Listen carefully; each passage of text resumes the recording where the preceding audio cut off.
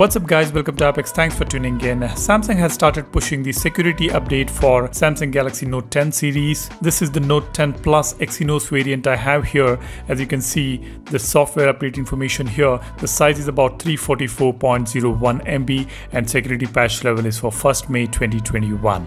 Now if we look at the changelog here, there are no surprises. We just have the device stability improvements, bug fixes, and some improvements to performance. In fact, there were reports on many websites which suggested that Galaxy Note 10 series is getting the security patch for May with some camera improvements as well as quick share improvements.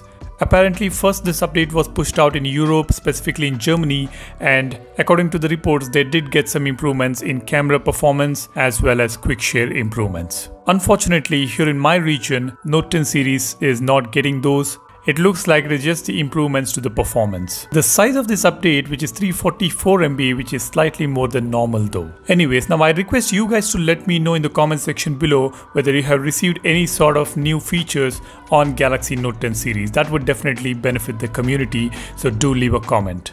If you have not received the update notification yet, go to settings, go to software section, tap on download and install. If the update is available in your region, you will be able to see that right there. That's all I wanted to update you guys. Thanks for, for watching. You guys take care and stay safe. I will see you in the next one. Cheers. Bye bye.